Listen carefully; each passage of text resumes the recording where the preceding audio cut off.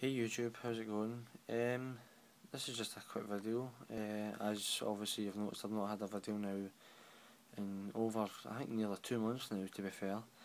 And uh, but that's just purely because I've not had a lot of time obviously in the last two months and stuff with many things that have gone on. But uh, I've come back today and uh, I thought I'd show you something that actually owns, my dad owns.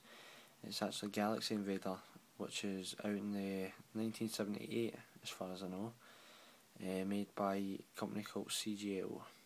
Um, just have a quick wee look at it. As you can see there, that's the on and off button, just turns on and off.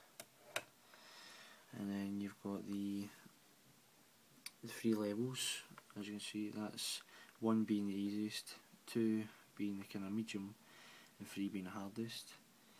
There's just kind of screen there, very simple screen, just obviously just like in a kind of LED type kind of thing, I'm not too sure. And then you've obviously got your analog, just from side to side it goes.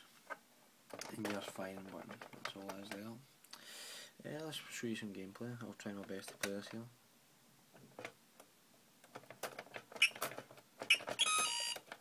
Oh, that's not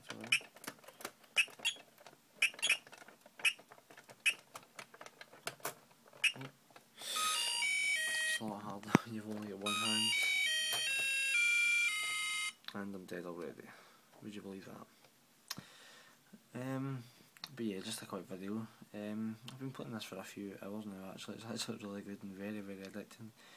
Uh, if you can try and pick it up I would definitely suggest it because it's an amazing wee game. Uh, please subscribe and thanks very much.